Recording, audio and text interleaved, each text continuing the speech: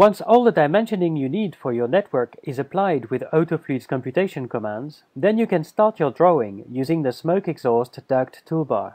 Right-click on one of the toolbars to access them all, and we can start routing.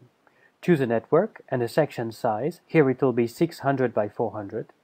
Right-click to define the path of the network.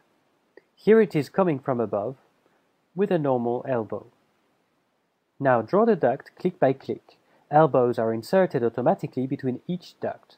Here, a chamfered elbow is inserted by default. You can right-click to switch to a right elbow. Right-click again to access options. Let's insert a break.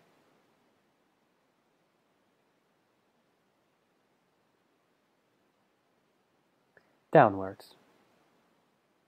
You can then dress your network using local commands. Let's insert some equipment, such as a smoke exhaust damper.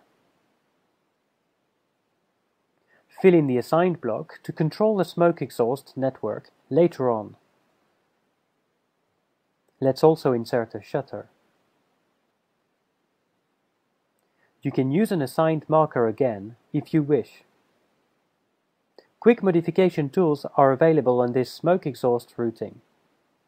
For example, we can change this right elbow for a chamfered elbow.